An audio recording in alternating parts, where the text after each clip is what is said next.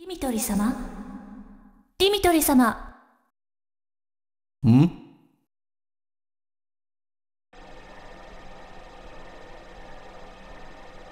どうなされました？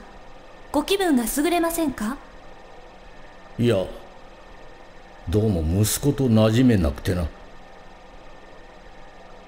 大丈夫だ。続けてくれ。はい。現在実験棟で稼働実験を行っておりますドクターがその報告をしたいと。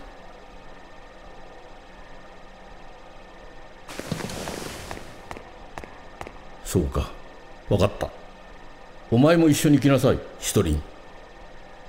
はい